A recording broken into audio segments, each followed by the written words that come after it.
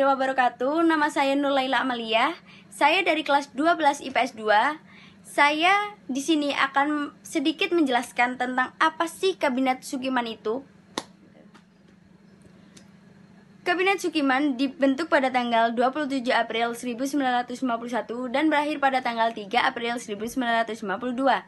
Kabinet Sukiman sendiri mempunyai tugas pokok yaitu menjalankan persiapan pemilihan umum di Indonesia untuk memilih anggota parlemen dan anggota konstituante.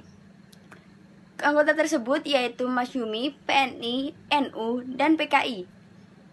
Kabinet Sukiman sendiri mempunyai partai pendukung yaitu Masyumi dan PNI. Kenapa sih anggota pendukungnya cuma Masyumi dan PNI? Karena pada saat itu mereka adalah partai politik terbesar di Indonesia.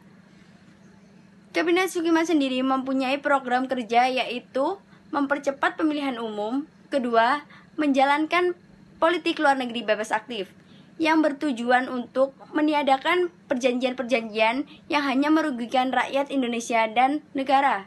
Contohnya, Belanda dan Indonesia.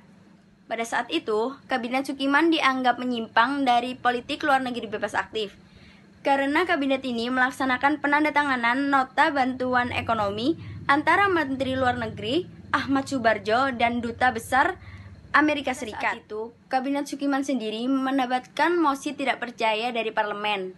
Alhasil banyak partai pendukung yang mengundurkan diri dari kabinet tersebut.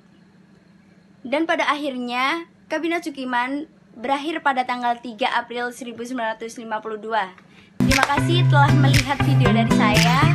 Semoga bermanfaat. Assalamualaikum warahmatullahi wabarakatuh.